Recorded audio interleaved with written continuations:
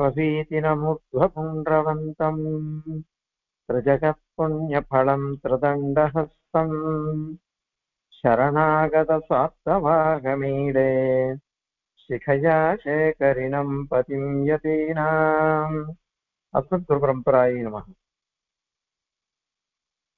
மூணாவது பாதத்துல முதல் அதிகரணம் ஜிப்வாச் அதிகரணம் அந்த அதிகரணம் முடிஞ்சு விட்டது அதுக்கு மேல பூமாதிகரணம்ன்றது ஆரம்பிக்கப்படுது. இங்கேயும் ஜீவனே இருக்கட்டுமே ஆக்ஷேபம் கிடையாது. பரமாத்மா தான் இங்க அப்படின்னு சித்தாந்தம் பண்ண போற இது பூம வித்யை அப்படின்னு சொல்லிட்டு சாந்தோக்கியோபனிடத்துல ஏழாவது அத்தியாயத்துல இருக்கு. அதாவது பிரபாட்டகம்னு சொல்ற அதுல இருக்கு. அந்த ஏழாவது பிரபாடகத்துல என்ன விஷயம் அப்படின்னா நாரதர் வர நாரதர் வந்து சனத்குமாரரை சேவிக்கிறார். சேவிச்ச உடனே கேட்கிறார் என்ன வேணும்? அப்படின்னு கேட்கிற அவர் என்ன பண்றதுக்கு எனக்கு உபதேசம் பண்ணணும். எனக்கு உபதேசம் பண்ணுங்க. அப்படின்னு சொல்ற என்னை வந்து அனுகிரகிக்கணும். அப்படின்னு கேட்கிறேன் எனக்கு ஞானம் வேணும்ன்றது எல்லாருக்கும் முக்கியம் இல்லையா? அதனால எனக்கு உபதேசம் பண்ணுங்கோ அப்படின்னு நான் கேட்கிறேன் உடனே சனத்குமார் சொல்ற நான் சொல்லுவேன் ஆனா நீங்க என்ன படிச்சிருக்கேன்னு சொல்லணும் நீ ஏதாவது வாசிச்சிருக்காரா நீர் வாசிச்சதுக்கு மேலதான் நான் சொல்ல முடியும். ஏன்னா நீர் வாசிச்சதையே நான் திருப்பி சொன்னேன்னாக்கா உமக்கு என்ன பிரயோஜனம்? அதனால நீர் என்ன வாசிச்சிருக்கீரோ அதை எனக்கு சொல்லும் அதன் பிறகு நான் உமக்கு வேண்டியது என்ன சொல்லணுமோ அதை நான் சொல்றேன்.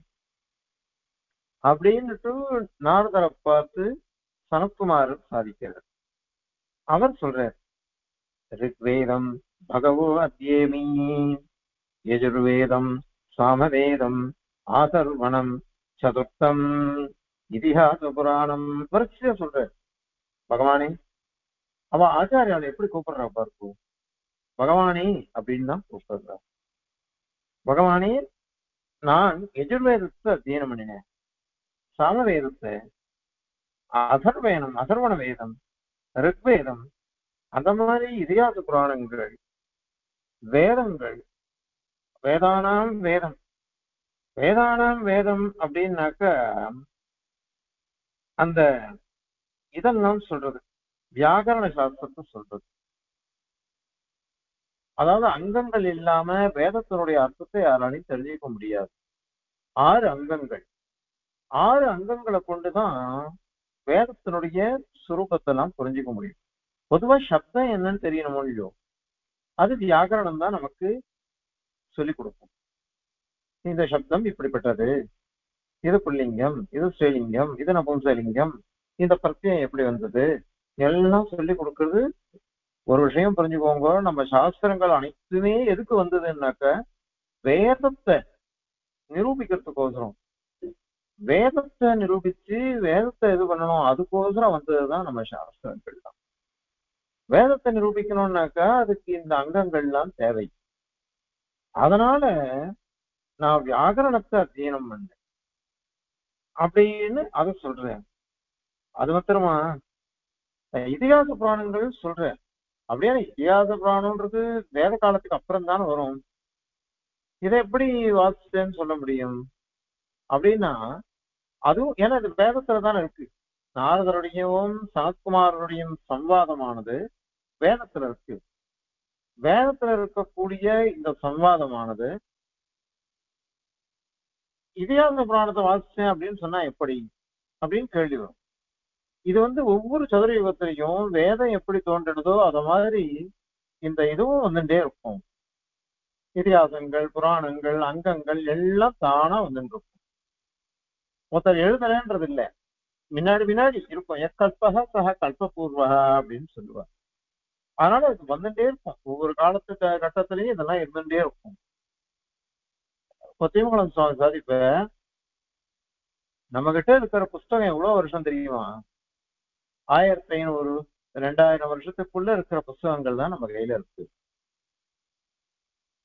அதை கொண்டுதான் நம்ம எல்லாம் விசாரம் பண்ணிட்டு சண்டை போட்டு இருக்கோம்.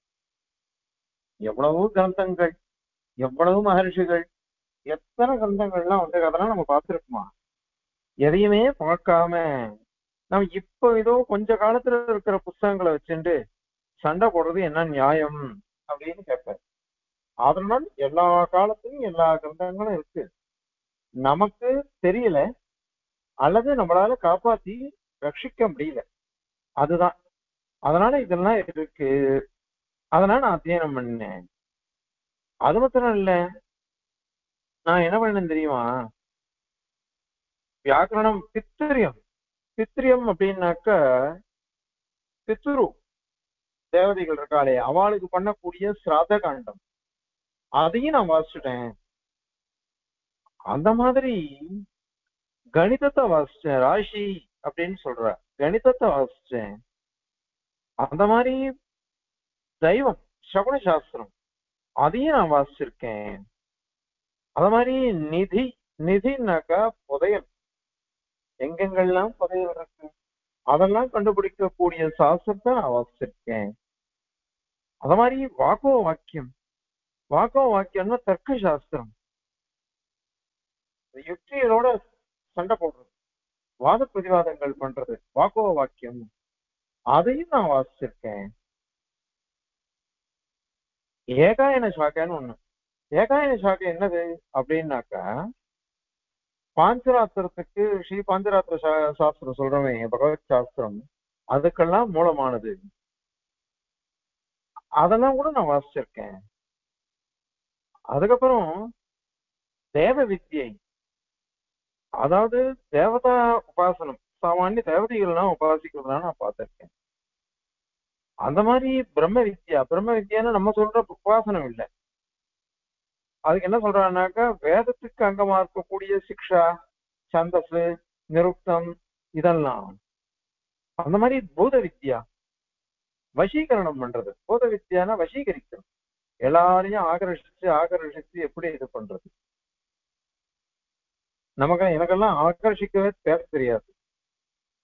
முரட்டத்தனமா தான் பேச தெரியும். இன்னும் சில பேர்லாம் சிரிக்க சிரிக்க பேசி எல்லா காரியத்தையும் சாதிச்சு அந்த மாதிரி ஆகர்ஷிக்கிறது தனி வித்தியை. அதுக்கு பூத வித்தியை அப்படின்னு பேரு. அந்த மாதிரி க்ஷத்திர வித்யான்னு ஒரு வித்யா அது தனுர்வேதம் அதுக்குதான் பேரு. க்ஷத்ரியாள்னா என்ன பண்ணுவா? யுத்தம் பண்ணுவா. அதையும் நான் வாசிச்சிருக்கேன். அந்த மாதிரி நக்ஷத்திர வித்யா நக்ஷத்திர வித்யான்னாக்க ஜோதிட சாஸ்திரம் ஜோதிட சாஸ்திரத்தை நான் வாசிச்சிருக்கேன். அதுவே எனக்கு தெரியும்.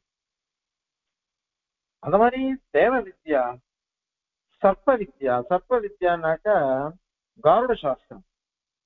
காருட வித்யா. அதாவது பாம்புகள் எல்லாம் எப்படி அடக்கிறது? அது தெரியும். சுவாமி தேசிகன் கருட மந்திரத்தை இது பிரயோகம் பண்ண தியானிச்சார் உடனே பாம்பு தூக்கின்னு கொடுத்து கருடம் காருட வித்யா. இதுக்குதான் சர்ப்ப வித்யான்னு பேர். தேசிகன் அனைத்தையும் சேர்த்திருக்காரு அதனால காருட வித்யா. தேவ வித்யா. தேவ வித்யான்னு இந்த இடத்துல காந்தர்வ சாஸ்திரம். கந்தர்வன்லாம் என்னென்ன பண்ணுவா? எப்பொழுதும் உல்லாச பேர்வழிகள் அவள் எல்லாம் உல்லாசமா இருக்கக்கூடியவா. அந்த விஷயமும் எனக்கு தெரியும். அத மாதிரி ஜன வித்யா ஆயுர்வேதமும் எனக்கு தெரியும். இத்தனை எனக்கு தெரியும். இத்தனை நான் வாசிச்சிருக்கேன். ஏதத் பகவோ அத்தியமி ஹே பகவானே இவைகள் அனைத்தையும் நான் வாசிச்சிருக்கேன். அதை சொல்லிட்டு ஒரு வார்த்தை சொல்றேன். சோகம் பகவஹா மந்திர விதேவாஸ்மி பகவானே நான் வந்து தனியா வாசிச்சேன்.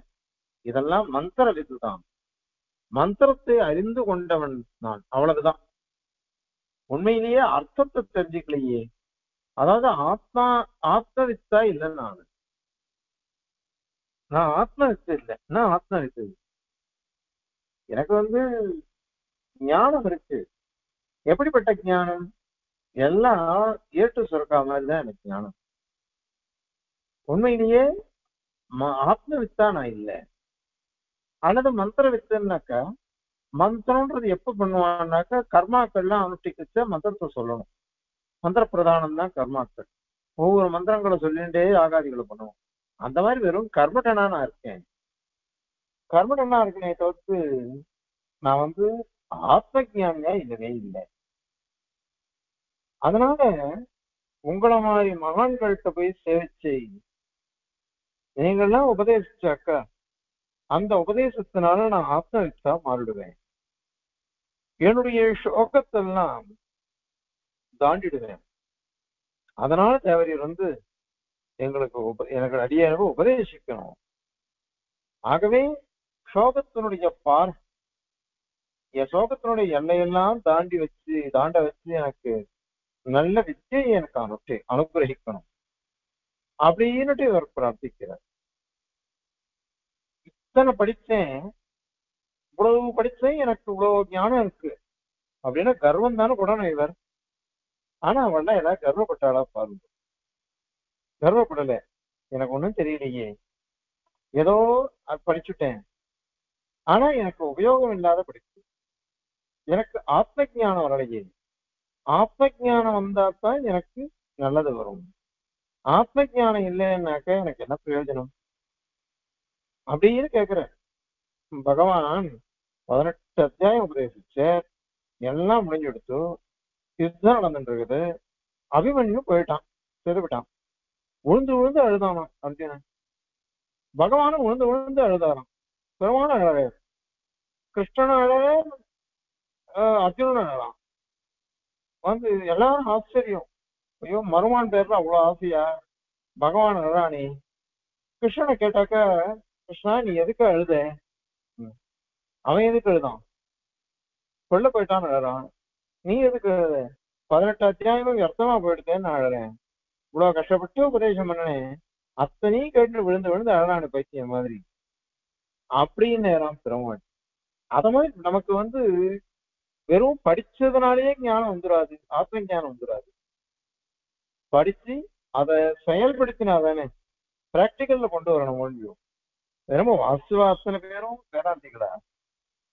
அரியே வேதாந்தி இல்லை. ஏன்னா வாசுக்கும் அதையும் குறையுமா ஆச்சாரியார் அனுகிரகத்துல உபாயத்தையும் அனுஷ்டிச்சிருக்கோம். ஆனாலும் கூட திரும்ப திரும்ப உத்தர கிருத்தத்துல என்ன பண்ணிட்டு இருக்கணும்? பெருமாளையே தியானிச்சுட்டு இருக்கணும்னு சுவாமி சொல்றாரு. அதெல்லாம் பண்ணாம நாம என்ன பண்ணிட்டு இருக்க எல்லாம்? இந்த உடம்பு உடம்புன்னு வந்துட்டு இருக்கேன். உடம்பு எப்படி ஆனா என்ன? அனந்தாழ்வான் மலையில பெருமாளுக்கு புஷ்ப கைங்கரியம் பண்ணிட்டு இருந்தேன்.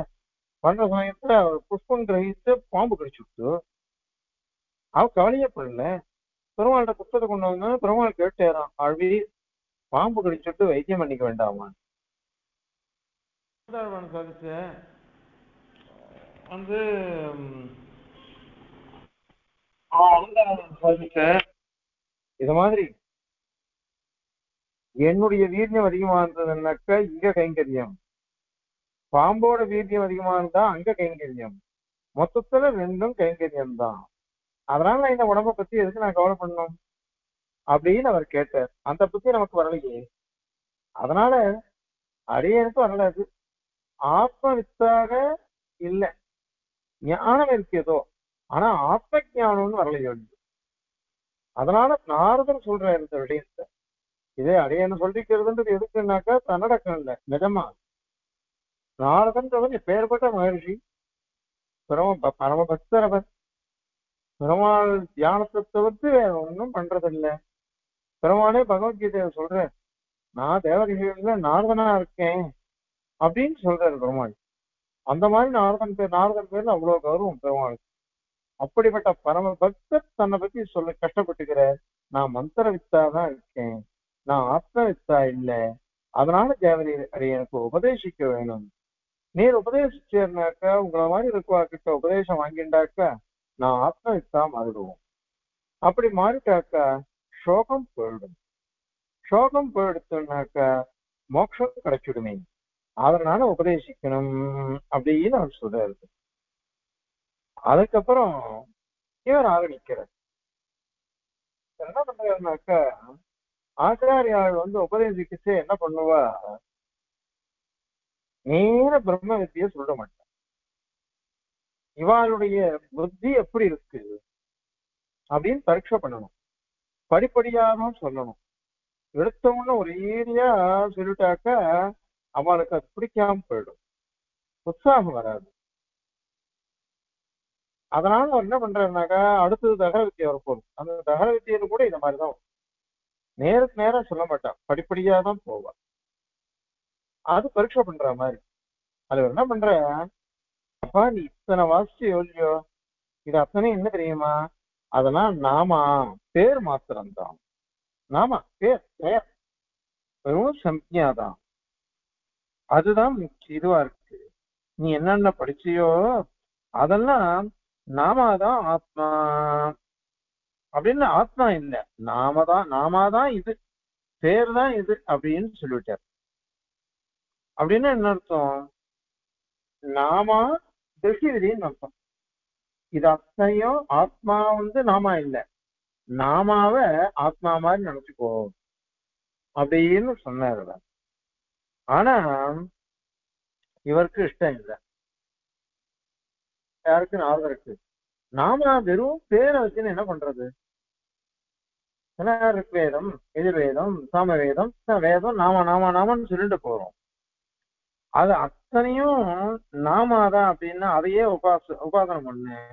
நாம உபாச அப்படின்னு சொன்னா அது எப்படி சரியா இருக்கும் அதனால அது இவருக்கு மனசுல இது பண்ணல.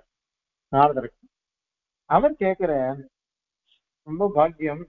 ஆனா இந்த நாமாவை காட்டிலும் அதிகமா ஏதாவது இருக்குதா அதிகமா இருக்காது.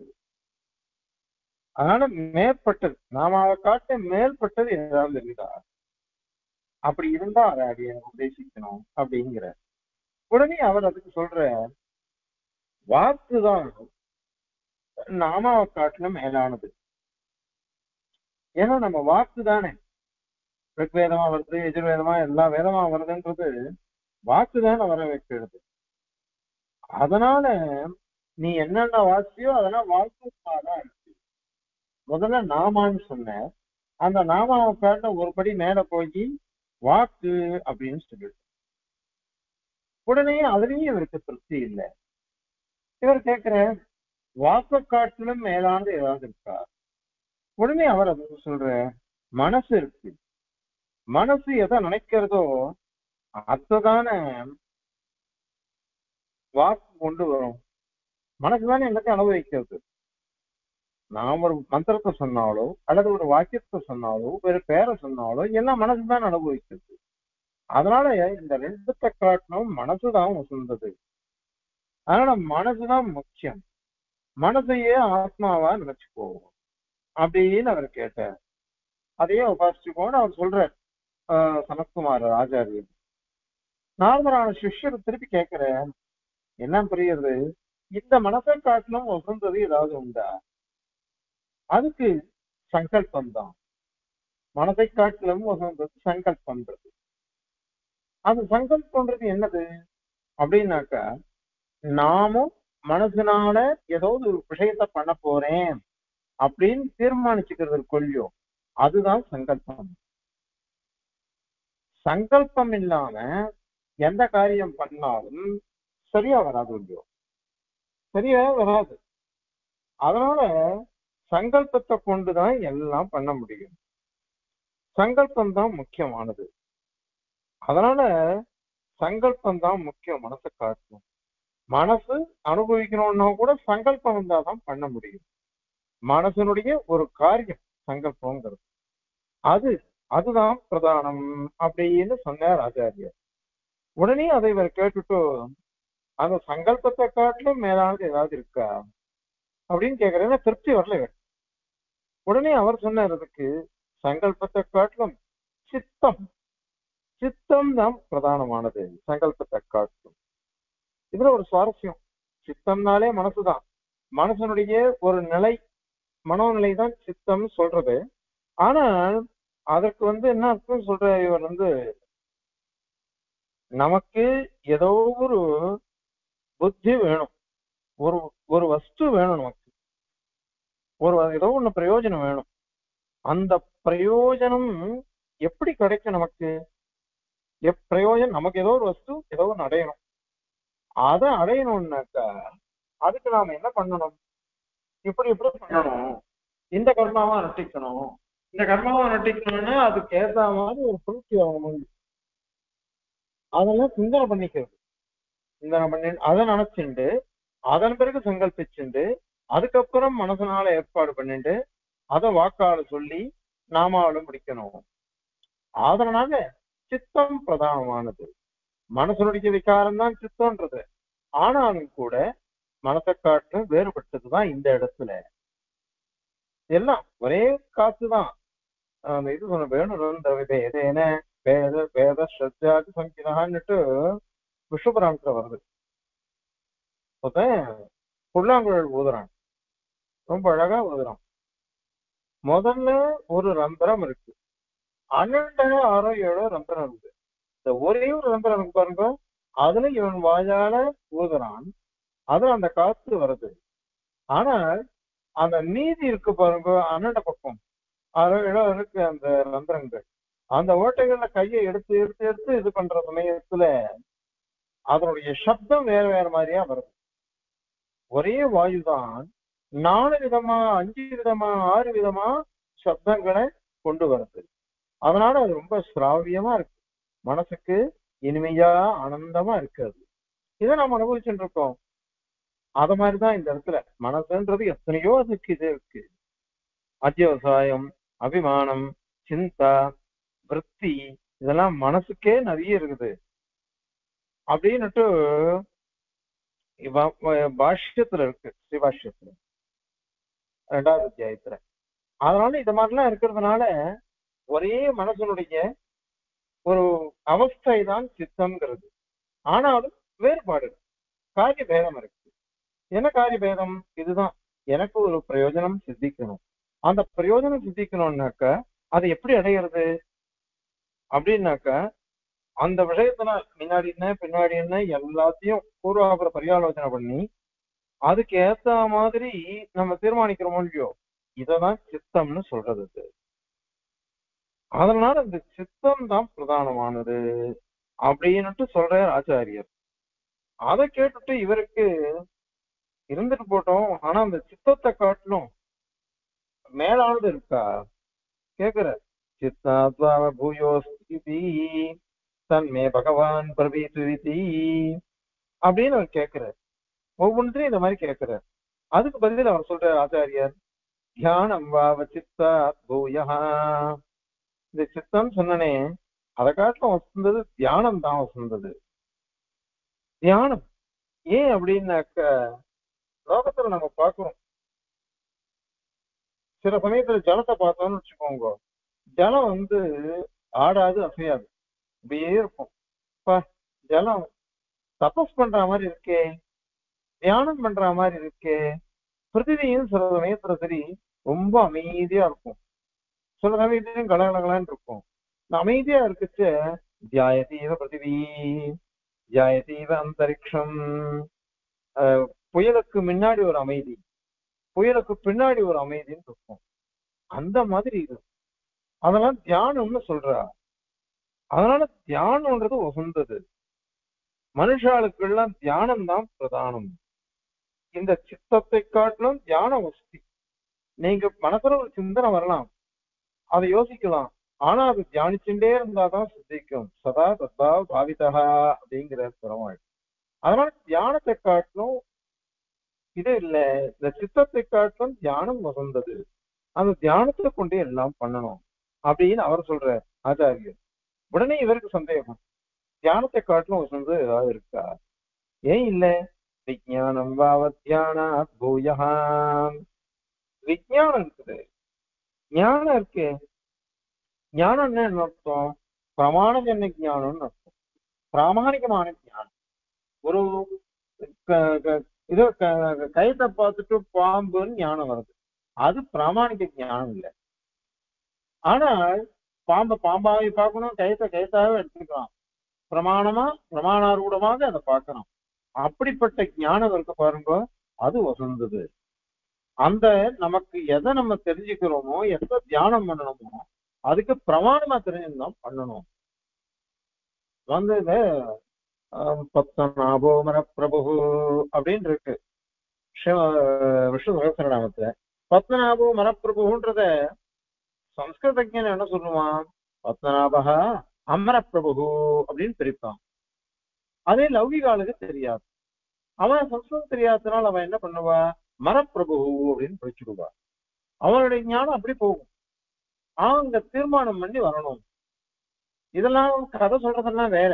ஆனால் அமரப்பிரபுன்னு தான் அங்க சகசரநாமம் இருக்கு அத பத்தனா பத்மநாபோ பிரபு அப்படின்னு வந்துரும் அதனால நம்ம பிரமாணரோடமா தெரிஞ்சிருந்தாதான் எதுவும் நமக்கு சுத்தமா இருக்கும் அதனால பிரமாண ஞானத்தினால சித்தமானது தியானம். அந்த தியானத்திற்கு சித்தம் முக்கியம். அந்த சித்தத்தினால சங்கல்பம். அதுக்கு முன்னாடி மனசு அதுக்கு முன்னாடி வாக்கு அதுக்கு முன்னாடி நாமா இந்த மாதிரி வரணும். அப்படின்னு அவர் சொன்னார். உடனே வெறும் ஞானம் ஒண்டி ஆத்மாவா இருக்க முடியுமா? பிரமாண ஞானத்தினால தெரிஞ்சுக்கலாம். பிரமாண ஞானமே ஆத்மாவாக இருக்க முடியுமா? அதை காட்டிலும் வசந்தது ஏதாவது இருக்கா அப்படின்னு நம்ம ஆச்சாரியரை பார்த்து கேட்கிற சிஷ்யர். அவர் அதுக்கு பதில் சொல்ற பலம் தான் முக்கியம். உடம்புல நல்ல பலம் இருக்கணும். உடம்புல பலம் இருந்தாதான் பிராமணிகமான ஞானம் வரும். உடம்புல பலம் இல்லை சோர்வு இருந்ததுன்னு வச்சுக்கோங்களேன். எத்தனையோ அதுல தோஷம் வந்துரும். நம்ம சொல்ற ஞானத்துல. அயன் வந்து எட்டு மாசம் முன்னாடி பாடம் சொன்னது வேற. இப்ப சொல்றது வேற. அரியனுக்கே தெரியாது. கொஞ்ச நாள் சொல்ல உடம்பு சோர்வு அடைஞ்சுடுறது சோர்வு ஆரம்பத்துல இருக்கிற உற்சாகம் முடியச்சே கொஞ்சம் கஷ்டமா இருக்கும். இந்த மாதிரி சோர்வு இருக்கிற சமயத்துல நம்மளால பூர்ணமா சொல்ல முடியாத போயிடலாம் அதுல தப்பு கூட இருக்கலாம். எத்தனை பண்டிதால் கேட்கிறாளோ எத்தனை இது பண்றாளோ அது எனக்கு தெரியாது. ஆனால் இதுல ஏதாவது தோஷம் இருந்தாக்க அபராட்சமணம் தான் அடியன் பிரார்த்திக்கணும் ஆனா உடம்புல நமக்கு சோர்வு இருக்கவே தான் இந்த மாதிரி தோஷங்கள் தான் வரும். நல்ல பலிஷ்டனா இருந்தான்னு வச்சுக்கோங்க. அப்போ அவனால எல்லாத்தையும் நல்லா ஆராய்ஞ்சு தெரிஞ்சுக்க முடியும். அதனால நாயமாத்மா பலஹீனேன லப்யா அப்படிங்கிறது உபனிஷத்து. ஒரு பலகீனமானவன் மனத்தினாலேயோ உடம்புனாலேயோ பலகீனமா ஒருத்தன் இருந்தான்னாக்கா அவனால இந்த ஆத்மாவை அடையவே முடியாது அப்படிங்கிறது உபனிஷத்து. அதனாலதான் இங்கிலீஷ்ல சொல்றா பாருங்க sound knowledge and sound body அப்படின்லாம் சொல்றாங்க. எல்லாம் நம்ம உபனிடத்துல சொன்னதுல இங்கிலீஷ் சொல்லிட்டு அது எல்லாருக்கும் வசதியா போயிடுது. மற்றபடி நம்ம உபனிடத்துல சொல்லப்பட்டது. அதனால பலம்தான் ஞானத்தை காட்டிலும் வசந்தது. அப்படின்னு ஆச்சாரியர் சொல்றாரு. வெறும் பலத்தை வச்சு என்ன பண்றது? அதனால பலத்தை காட்டும் வசந்த ஏதா இருந்தான்னு கேட்கிறாரு. அதுக்கு அன்னம் பாப பலா தூயகா அப்படிங்கிற ஆச்சாரியர். என்னன்னா அன்னம் இல்லாம உடம்புல பலம் வராதே. நிறைய சாப்பிடணும். புஷ்டியான ஆகாரத்தை சாப்பிடணும். புஷ்டியான ஆகாரத்தை சாப்பிட்டாதான் நமக்கு சரீரத்துல பலம் வரும். அதனால பலத்துக்கும் மூல காரணம் அன்னம் தானே. அதனால அன்னம் போக்கியமான வஸ்துக்கள் அவைகள் தான் ரொம்ப வசந்தது. நம்ம எல்லாம் நன்னா இருக்கோம்னா என்ன அர்த்தம்? இந்த அன்னம் தான். அன்ன சுத்தம்னே இருக்கு. அது மாதிரி நம்ம உபநிஷத்துலாம் அண்ணன்னிஞ்சா அன்னம் பகுபுர்தீத அண்ணன்ன பிரதியக்ஷிதன் எத்தனை வாக்கியங்கள்? அதனால இவையெல்லாம் அன்னத்தை வசதியா சொல்றது. இந்த அன்னம் இல்லாம லோகத்துல இருக்கவே முடியாதே. நகி பகுதானம் அன்னதானியன துல்லியம். அன்னதானத்துக்கு சமமான ஒரு தானம் லோகத்திலேயே கிடையாது. ஏன்னா அதுல உண்டிதான் போரும் அப்படின்ற புத்தி வருது. ஐயோ எனக்கு போர் அதிகமான சாப்பிட முடியாது அப்படின்னு சொல்றது.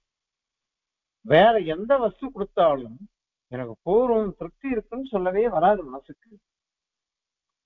அது அன்னத்துல ஒண்டி வர்றது. அது மாத்திரம் இல்ல சாப்பிட்டா போரும் நல்லா சாப்பிட்டான்னாக்கா அவன் வயிறு வாழ்த்தின்றே இருக்கும் நம்மள.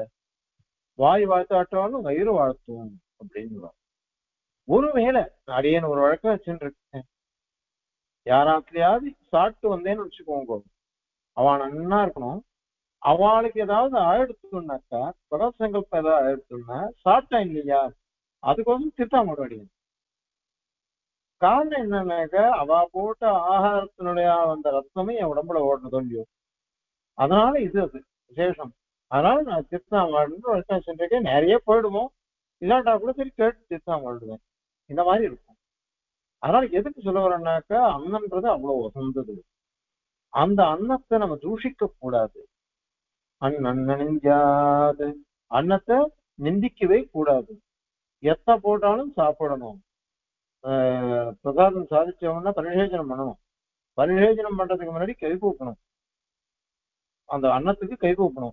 ஏன்னா அஸ்மாக்கம் நிச்சயம் அஸ்து அன்னமேத்தது அப்படின்னு சொல்லணும் பெரியவா. ஏன் அப்படின்னா இந்த அன்னம் தானே நமக்கு காப்பாத்துறது. எவ்வளவு பணம் இருந்தா என்ன? அன்னம் சாப்பிட முடியலன்னாக்கா சாப்பிடறதுக்கு ஒண்ணும் இல்லைன்னாக்கா என்ன பண்ண முடியும்? பணத்தை வச்சுட்டு அதனால அன்னம் தான் நம்மளை காப்பாத்துறது ரட்சிக்கிறது இந்த உடம்பு பலத்தை கொடுக்கறது சக்தியை கொடுக்கறது ஞானத்தை கொடுக்கறது எல்லாம். ஆகவே அன்னம் முக்கியம். அதுதான் பிரதானம்.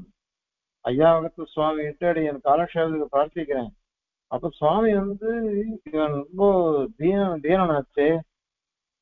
ஏழை ஆகாரத்துக்கு என்ன பண்ணுவான்? பல பேர் சுவாமி படியேன் பாத்துக்கிறேன் அப்படின்னு சாச்சு அந்த ஆறு மாசம் அஞ்சரை மாசமும் என்னவோ காலக்ஷேபம் ஆச்சு. அஞ்சரை மாசமும் அடியன் கோயில் ஆறாவதுக்கோசரம் பிரசாதம் பண்ணிடுவேன் நாவல் பார்க்கும் கோயில்ல. அந்த பிரசாதத்தை பெருமாளுக்கு சமைச்சிட்டு அடி எனக்கு அது பில்ல கொடுப்பார். அந்த அந்த பிரசாதத்தை வாங்கிட்டு வந்துடுவேன் அது மலைபேடு சுவாமியார் அந்த பிரசாதத்தை கொடுத்துட்டேன்னாக்கா அவ வாட்டுக்கு அவ குழம்பு சாதனம்லாம் வச்சு அவ ரங்கமணி சித்தி அப்படி பார்த்துட்டா. தன் பிள்ளை மாதிரியே அடி என்னை பார்த்துட்டா. வலைப்பேட்டை ராமாச்சார் சுவாமியோ சரபோபச்சார் சுவாமியோ அவ பெரிய பிள்ளைகளோ கடைசியோ அவ எப்படியோ அப்படிதான் அடியன். அந்த மாதிரி பார்த்து வளர்த்தா. என்னைக்கும் அந்த மாதிரி மகான்களை அடியன். வச்சுட்டே இருக்கணும் அவ்வளவு அனுகிரகம் பண்ணுவா அதெல்லாம். அதனால எதுக்குன்னா ஆகாரம் முக்கியமா போயிடுச்சு? இவன் எங்க சாப்பிடுவான்? ஏன்னா சுவாமி திருமாளிகளாம் செய்ய முடியாது. சாப்பிட முடியாது. என்ன வயசானவா பண்ண முடியாது. அதனால அவன் அப்படி பார்த்துட்டான். ஆக அண்ணன்றது சாமானியம் இல்லை இல்லையா? அதனால அண்ணன் தான் பிரதானம் பலத்தை காட்டும் சரி இது பலத்தை கா அன்னத்தை காட்டிலும் வசந்த ஏதாவது இருக்கான்னாக்கா ஜலம்தான் ஜலம்தான் வசதி. ஏதோ தீர்த்தம் இல்லாம அன்னம் வராதே. நிறைய மழை பெய்யணும். வந்து தீங்கன்றி நாளெல்லாம் திங்கள் மும்மாறி பெய்யுது பூங்கு பெருந்தோட கைகளை பூங்குவலை போதினா நம்ம சேவிக்கிறோம். ஏன் அப்படின்னா அந்த மழை பெஞ்சாதான் ஜலத்தினால தானியம் நிறைய வளரும். அதுதான் நமக்கு அன்னமா கிடைக்கும். அதனால அன்னத்தை காட்டிலும் ஜலம் முக்கியம். அப்படின்னு ஆச்சாரியர் சொல்றார். அந்த ஜலத்தை காட்டிலும் உசந்தது எது உண்டா? அப்படின்னா தேஜஸ் தான். தேஜஸ் இருக்கு. தேஜஸ் இல்லாம எதுவுமே வரவே வராது. தேஜஸ் தான் முக்கியம் அது. ஏன்னா அந்த தேஜஸ்ல இருந்துதான் ஜலமே உற்பத்தி ஆகுது நம்ம சித்தாந்தத்துல அதான கிரமம் தேஜஸ்ன்றது மகாபூதம் அக்னி மகாபூதம் அந்த அக்னி மகாபூதத்திலிருந்து ரசத்தன் மாத்திரம் உண்டாகிறது அதிலிருந்து ஜலம் உண்டாகிறது அதனால அதுதான முக்கியம் ஆகவே அது முக்கியம்னு சொன்னார். உடனே அந்த தேஜஸ காட்டிலும் வசந்தது எது அப்படின்னு ஆகாஷம் ஏற்கனவே சொன்னோம் ஆகாசத்துலதான் சூரியன் சந்திரன் எல்லாம் இருக்கா அதுல இருந்துதான் இதுவே உண்டாகிறது தேஜஸ்ன்றது. அதனால ஆகாசம் தான் வசந்தது ஆகாசத்தை காட்டிலும் வசந்தது இதுவா? ஏதாவது இருக்கான்னாக்கா ஞாபக சக்தி ஸ்மரக. ஞாபக சக்தின்றதுதான் முக்கியம். எனக்கு ஞாபகம் இல்லை எதை வாசிச்சாலும் ஞாபகம் இருந்தால் தானே சொல்ல முடியும். ஞாபகம் இல்லைன்னா ஒண்ணுமே சொல்ல முடியாது. அதனால ஸ்மரக ஞாபகம் தான் முக்கியமானது. ஞாபகம் இல்லாம என்ன? சிந்தனை பண்ணணும் தியானம் பண்ணணும் நமக்கு பிரம்ம ஞானத்தை காதல வாங்கிக்கிறோம். மறந்து போயிட்டோம்னாக்க அதனால ஞாபகம் தான் வசந்தது. அப்படின்னா அந்த ஞாபகத்தை காட்டிலும் வேற ஏதாவது வசந்தது இருக்குதா? அப்படின்னா ஆசைதான். ஆசைதான். ஆசை இல்லாம எதுவும் வராது. ஏன் அப்படின்னாக்கா நமக்கு ஞாபகம் இருந்தா கூட சரி. அந்த வஸ்துவில நமக்கு இச்சை வரணும் இல்லையோ? இச்சை வாஞ்சை வரணும். இந்த வஸ்து எனக்கு பிடிக்கும் அப்படின்னு சொன்னாதான் நான் நினைப்பேன். அதுக்கோசரம் எனக்கு ஆகாசம் ஆகாசத்திலிருந்து தேஜஸ் தேஜஸிலிருந்து ஜலம் ஜலத்திலிருந்து அன்னம் அன்னத்திலிருந்து பலம் பலத்திலிருந்து இப்படி கிரமமா நமக்கு வரும். அதனால இச்சை வந்தாதான் நம்ம பிரவர்த்திப்போம் எவ்வளவோ படிக்கிறோம் எவ்வளவோ தெரிஞ்சுக்கிறோம் எத்தனையோ வஸ்துக்களை பார்க்கிறோம். ஆனா நமக்கு மனசுல எது பிடிச்சிருக்கோ அதை தான் நாம எடுத்துப்போம். அதனால இச்சை தான் முக்கியம். அப்படின்னு சொன்னார் அவர். சரி ஆகாத ஆசையை காட்டிலும் வசந்தது ஏதாவது இருக்கான்னு. உடனே அது சொல்றார் பிராணோவாவ ஆசாயா பூயான் ஆசை இருக்குதே அதை காட்டிலும் வசந்தது பிராணன். இந்த இடத்துல பிராணன் அப்படின்னாக்கா ஜீவாத்மான்னு அர்த்தம். இந்த ஜீவாத்மான் தான் அர்த்தம் ஜீவாத்மான்னு சொன்னதுனால ஏன்னா அங்க வாக்கியங்கள்லாம் அதை மாதிரி பிராணோக பிதா प्राणो மாதா प्राणो भ्राता प्राणः सखा சுசா பிராண ஆச்சாரிய பிராணோ பிராமண அப்படின்லாம் வாக்கியம் இருக்கீங்க பிராணன் இல்லாம எதுவுமே இல்லை. அதனால பிராணன் பிராணன்னா என்ன அர்த்தம்? பிராணவாயுவோட சேர்ந்த ஜீவன் அப்படின்னு அர்த்தம். இந்த ஜீவன் தான் முக்கியமானவன். இந்த ஜீவன் வந்து இதை தெரிஞ்சுக்கோ. ஜீவனை தெரிஞ்சுட்டோம்னாக்கா அது விசேஷம். அது மாத்திரம் இல்ல நீ வந்து பிதாவை வெசாக்கா உனக்கு பித்ருஹா பிதாவை கொண்டுட்டுவேன்னு பேரு. இந்த மாதிரிலாம் வாக்கியங்கள் இங்க இருக்கிறதுனால பிராணசித்தத்தினால ஜீவன் சொல்லப்படுகிறான். இந்த மாதிரி ஜீவனை பஷ்யன்னு ஜீவனை பார்க்கறான். எப்படின்னா சாட்சாத் குரு விஜானன்னு அப்படின்னு இருக்குங்க. ஏவம் பஷ்யன்னு ஏவம் மன்வானா ஏவம் விஜானன் அதிவாதி பவதி அப்படின்னு இருக்கு விஜானன்னு அப்படின்னா உபாசனம் பண்றான். அத மாதிரி மனநம் பண்றான். மனநம் பண்றதுன்னா என்ன அர்த்தம்? மனசுல வந்து விஷயீகரிக்கிறான் ஆத்மாவை. ஆத்மா எப்படிப்பட்டது அப்படின்னு அதன் பிறகு பஷ்யன்னு இந்த மாதிரி தியானம் பண்ணினான்னாக்கா உபாசனம் பண்ணினாக்கா ஆத்மாவை சாட்சாத்கரிக்கிறாங்க. இப்படி பண்ணினான்னாக்கா அவனுக்கு என்ன ஆகுது? ஆத்ம ஞானம் உண்டாகி ஜீவாத்மாவுடைய சுத்தாத்ம ஸ்வரூபம் அந்த சுத்தாத்ம ஸ்வரூபமானது சாட்சா்காரம் ஆயிடும் அப்ப நிறத்தசிய ஆனந்தத்தோட கூடினது இந்த ஆத்மஸ்வரூபம் அப்படின்னு தெரிஞ்சுக்கிறான். அப்படி தெரிஞ்சுன்னான்னு வச்சுக்கோங்க அவனுக்கு என்ன ஆகும்? இந்த ஆத்மஸ்வரூபம் இருக்கே இதுதான் வசந்தது அதிவாதின்னு பேர். அதிவாதின்னா என்ன அர்த்தம்? தான் எதை உபாசிக்கிறானோ அந்த உபாசிக்கக்கூடிய வஸ்து இருக்கும் இல்லையோ அதுதான் அப்படின்னு அவன் தெரிஞ்சுக்கிறான். அதுதான் வசந்ததுன்னு தெரிஞ்சுக்கிறான். அது சொல்றாங்க நான் எதை உபாசிக்கிறேனோ அதுதான் வசந்தது உத்கிருஷ்டமானது அப்படின்னு சொன்னா அதுக்கு அதிவாதம்னு பேர். இவன் பிராணனை வந்து அதிவாதம் பண்றானோ? எவன் ஒருவன் பிராணனை உபாசிக்கிறானோ ஜீவனை உபாசிக்கிறானோ அவன் தனக்கு உபாசியமானது ஜீவன் தான் அதுதான் உத்கிருஷ்டமானது. அப்படின்னு நம்ம அதிவாதம் பண்றோம். உத்கிருஷ்டமா சொல்றோம் அத. அப்படின்னு சொன்னார். இது பர்யந்தம் ஆச்சாரியர் சொல்லி முடிச்சுட்டாரு உடனே நாரதருக்கு என்ன தோணெடுத்து அப்படியானாக்கா இந்த பிராணன் தான் வசந்தது. ஜீவன் தான். அந்த ஜீவனை உபாசிச்சா போரும். நமக்கு ஆத்ம சாட்சா்காரம் வந்துடும் அதனால சந்தோஷமா மேல அவர் கேள்வி கேட்கல. மேல கேட்கல. இந்த பிராணனை காட்டிலும் வசந்தது ஏதாவது இருக்கா? அப்படின்னு அவர் கேட்கல. ஆனா இத பார்த்தார் ஆச்சாரியர் இதான் ஆச்சாரிய லட்சணம். என்ன அப்படின்னா அவர் என்ன கேட்டிருக்க நான் மந்திர வித்தா இருக்கேன். ஆத்ம ஞானம் இல்லை. பிரம்ம ஞானம் இல்லை எனக்கு. அதனால நான் என்ன பண்றது? எனக்கு அனுகிரகிக்கணும் அப்படின்னு தான் அவர் கேட்டிருக்க இப்ப இவர் கேவலம் பிராணன்னு சொல்லிருக்க அது ஜீவாத்மா. ஜீவாத்மாவை எனக்கு போரும் இவர் நின்றுட்டேருனாக்கா உபதேசமும் பாதியோட நின்றுட்டு உபதேசத்தை வாங்கிட்டவரும் பாதியோட கிளம்பி கொடுங்க அது தப்பு இல்லையா? ஒரு ஆச்சாரியரா இருக்கிறவன் நீ கிரகிச்சுன்றது தவறு இந்த மாதிரி நீ கிரகிச்சுக்கணும். அப்படின்னு சொல்லி கொடுக்கணும். அதனால அவர் சொல்ற ஏஷத்துவ அதிவததி எஸ் சத்தியேன அதிவததி அப்படிங்கிறார். ஏஷத்துவா அதிவததி. இவன் அதிவாதம் பண்ணுகிறான். ஜீவனை தான் உபாசியமாக அதிவாதம் பண்ணான்.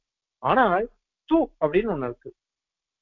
இந்த தூ அப்படின்றது என்ன பண்றதுன்னாக்கா முன்னாடி சொன்னது பிராணாதிவாதி இருக்குதே அதை காட்டிலும் வசந்தது வேற ஒரு அதிவாதம் இருக்கு. அது எது அப்படின்னா சத்தியசப்த வாக்கியமான பிரம்மத்தை அதிவாதம் பண்றவா? அதாவது பிரம்மமே உபாசியம் அந்த பிரம்மன் தான் ரொம்ப உசந்தது உத்கிருஷ்டமானது. அப்படின்னு நினைச்சுக்கிறா பாருங்க அப்படின்ட்டு அதிவாதம் பண்றாளே. இதுதான் உகந்த அதிவாதம் ஏஷதுவா அதிவததி எஸ் சத்தியேன அதிவததி அப்படின்னுட்டு அங்க வாக்கியம். சத்தியசத்துவத்துக்கு சத்தியம் ஞானம் அனந்தம் பிரம்ம அப்படின்னு சத்தியசத்துவத்துக்கு பரமாத்மான்னு அர்த்தம் இருக்கு. இன்னொன்னு சத்தியசப்தத்துக்கு விகார ரகிதம்னு அர்த்தம். ஜீவாத்மாவுக்கு அது உண்டு. ஆனால் கர்மகிருதமான சில இதெல்லாம் இருக்கு உனக்கு தோஷங்கள்லாம். ஆனால் பரமாத்மாவுக்கோ எதுவுமே எப்பொழுதுமே கிடையாது. எல்லாம் நித்திய ஆனந்த சுரூபி பகவான்.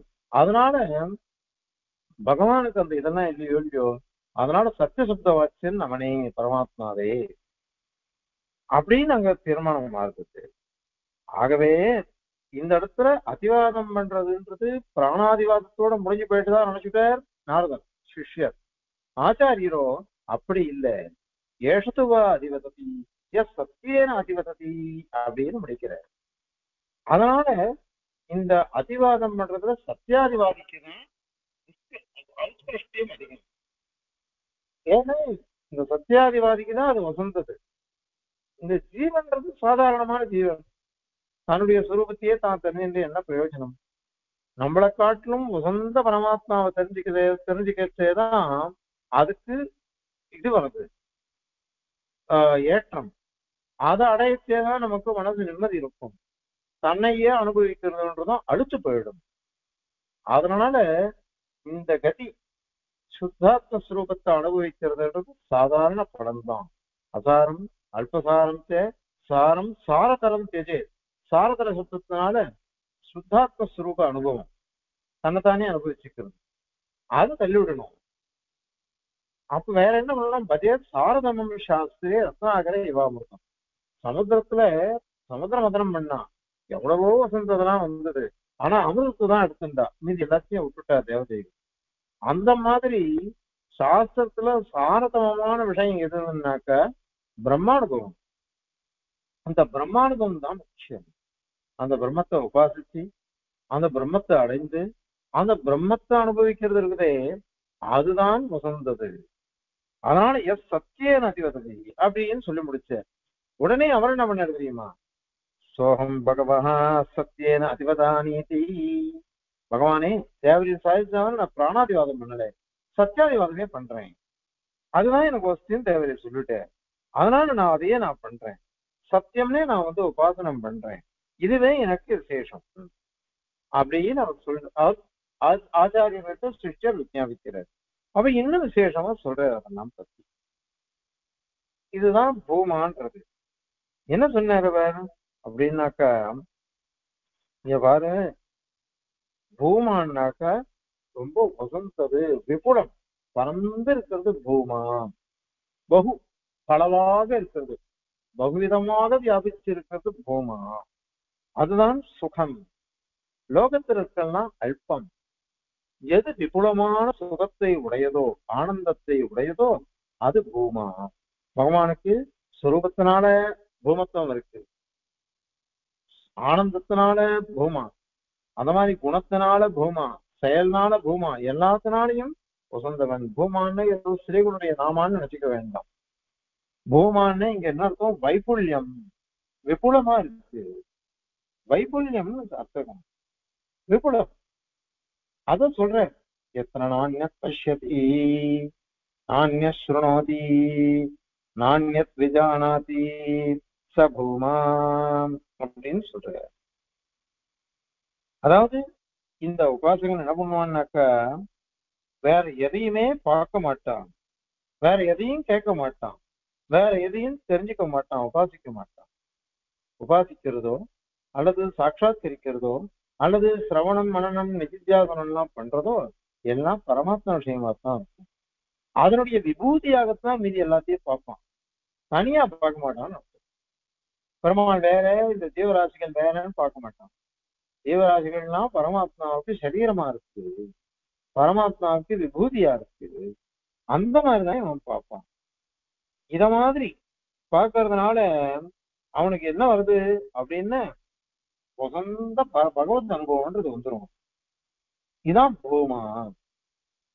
இந்த பூமாவை தெரிஞ்சிருந்தா பரமாத்மாவை உபாசிச்சான்னா அது விசேஷம். ஆனால் அதை விட்டுட்டு அதை எத்திர அந்நத் பசியதி அந்நத் ஸ்ருணோதி அந்நத் விஜானாதி தது அல்பம். இப்ப அல்பம்னா குறைஞ்சது ரொம்ப குறைவானது. அப்படின்னா பூமான்றது ரொம்ப அதிகமானது விபுலமானது தவிச்சு இருக்கக்கூடியது நம்ம அனந்த சப்தம் சொல்றோம் பாருங்க. சத்தியம் ஞானம் அனந்தம் பிரம்ம அனந்தம். அனந்தம்னா என்ன அர்த்தம்? தேசதா காணதா வசுதா பரிச்சு எதிராகித்யம் இந்த தேசத்துல பிரம்ம இல்லைன்னு சொல்ல முடியாது. அது மாதிரி இந்த காலத்துல பிரம்ம இல்லைன்னு சொல்ல முடியாது. இந்த வஸ்து பிரம்ம இல்லை அப்படின்னு சொல்ல முடியாது. எல்லாமே பிரம்மம். எல்லாத்தையும் வியாபிச்சிருக்கு. இவ்வளவுதான் சொல்ல முடியாது. அதுதான் பூம சுத்தத்துக்கு அர்த்தம். எல்லாத்தையும் வியாபிச்சிருக்கிறது அப்படின்னு அதனால இந்த மாதிரி இருக்கணும். அதனால பூமான்றது அப்படிப்பட்டது. அதனால எது அல்பமா இருக்கோ அதெல்லாம் மத்தியம் சம்சார விஷயம். தேவையில்லாதது நமக்கு. அது தேவையில்லை. எது பூமாவா இருக்கோ அதுதான் நமக்கு வசந்தது அப்ப இவர் கேட்கிறார். ச பகவஹா கஸ்மின் பிரதிஷ்டிதா. ஹே பகவானே அந்த பூம சப்த வாக்கியமான ஒரு வசு சொன்னாரு அது எதுல பிரதிஷ்டிதமா இருக்கு? அப்படின்னு கேட்கிறார். ஸ்வே மகிம்னி. அதாவது தன் தன்னுடைய மகிமையில தான் அது பிரதிஷ்டிதமா இருக்கு அனன்யாதாரம் இன்னொருத்தருக்கு ஆதாரமா இல்ல. இன்னொருத்தர ஆதாரமா அது உடையது இல்ல தனக்கு தானே நிக்கிறது அது. அப்படிப்பட்ட மகிமை பகவானுக்கு இருக்கு. இதுதான் பூமசுத்த வாக்கியம் இந்த மூணாவது பாதத்துக்கே அனன்யாதாரத்வம் சுனிஷ்டத்துவம்னு அர்த்தம் சாய்க்கிறது. இன்னொருத்தருக்கு ஆதாரமா இருப்பான். தனக்கு யாருமே ஆதாரம் கிடையாது. அப்படி எழுந்துள்ள இருக்கிறவன் எம்பெருமான் அனன்யாதாரம். அதனால ஸ்வே மகிம்னி தன்னுடைய மகிமையிலேயே அவன் பிரதிஷ்டிதவன். பிரதிஷ்டிதமானவன். மீதி எல்லாம் அப்படி இல்லை. நான் எங்க ஆச்சாரியர் இல்லைன்னா நான் இல்லை எங்க அப்பா இல்லைன்னா நான் இல்லை அவா இல்லைன்னா நான் இல்லை இப்படிதான் நம்ம சொல்லிட்டு இருக்கோம் பகவானுக்கு அப்படி இல்லை இல்லை. அவன் அவனுடைய மகிமையிலேயே பிரதிஷ்டிதமா இருக்கான். அவனே எல்லா இடத்துலயும் வியாபிச்சிருக்கிறான் இந்த மாதிரிதான் வரிசையா சுரண்டு போறது. இப்படி சொல்லிட்டு இந்த பூமை பூம சப்த வாக்கியமான வஸ்துவை பரமாத்மாவை யாரு உபாசிக்கிறாளோ அவன் தோஷ கஷ்டத்தை பார்க்கவே மாட்டா. சந்தோஷமா இருப்பா அவ. சம்சார சம்பந்தமே அவளுக்கு இருக்காது. எப்பொழுதும் மோக்ஷம் ஆனந்த் பிரம்மா அனுபவம் அதுதான் அவளுக்கு இருக்கும். இப்படின்னுட்டு சமச பாரம் தர்சயதி பகவான் சனத்குமாரா அப்படின்னு படிக்கிறார் இந்த சனத்குமாரனான பகவான் தன்னுடைய சிஷ்யரான நாரதருக்கு இந்த தாமசரித பிரகிருதி மண்டலம் பிரகிருதி மண்டலத்தினுடைய எல்லையை காமிச்சு மோட்சம் தான் நமக்கு வசந்தது. அங்க இருக்கிறது தான் பிரம்மம். அந்த பிரம்மத்தை தான் நாம் அடையணும். அதுதான் முக்கியம் அப்படின்னு சாதிக்கிறாரு. அதனால ஸ்கந்த இத்தியா சக்ஷதி ஸ்கந்தன்னாக்க ஒரு பேரம் அப்படின்னு இந்த வித்தியானது விடையிறது இதுல பூமா அப்படின்னு ஒரு பதம் இருக்கு இல்லையா? அந்த பூமி சப்தத்துக்கு என்ன? அப்படின்னு தான் இந்த அதிகாரத்துல விசாரிக்கிறார். இவ்வளவு தூரம் பூம வித்தியை பத்தி சொல்லணும் ஏன் அப்படின்னாக்க இந்த இதுல வர்ற விஷய வாக்கியங்கள்லாம் நிறைய இடத்துல வரும். நிறைய அதிகாரங்கள்ல வரும். அது மட்டும் இல்லாம அனந்த சப்தத்துக்கு அர்த்தம் பூவா அப்படிங்கிறது அதையும் நாம தெரிஞ்சுக்கணும். அதே மாதிரியாக ஸ்ரீ மகிம்னே பிரதிஷ்டிதா இது நிறைய இடத்துல உதாரிக்கிறா இந்த வாக்கியத்தை. ஸ்ரீ கஸ்மின் பிரதிஷ்டிதா ஸ்ரீ மகிம்னி தன்னுடைய மகிமையிலேயே இவன் பிரதிஷ்டிதமாக இருக்கிறான். அப்படின்னா நிறைய இடத்துல அதை உதாரிக்கிறார். அதனால இந்த பூம வித்தியை நம்ம தெரிஞ்சுக்கணும். இதை தெரிஞ்சுட்டோம்னாக்க அடுத்த அதிகாரத்துல போறதுக்கு சுலபமா இருக்கும். அதனால இந்த பூம வித்தியை பார்த்து இந்த வாட்டி பார்த்துருந்தோம். அப்போ துர்பரம்பராயே மகன்